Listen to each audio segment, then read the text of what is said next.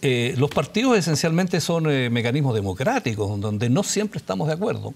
Entonces yo tengo una diferencia en este, en este caso puntual con lo que ha hecho la directiva, digamos.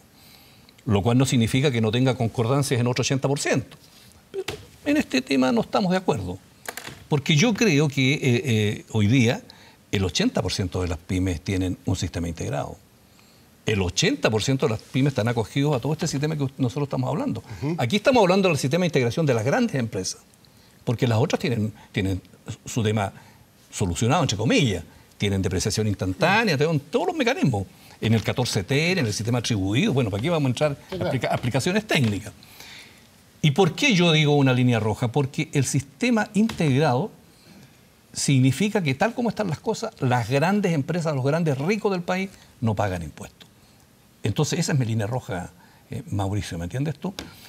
Entonces, que estamos disponibles para buscar un mecanismo, estamos disponibles. Se lo he dicho al ministro del Interior, lo he conversado con el ministro de Hacienda, pero cada uno tiene una línea roja.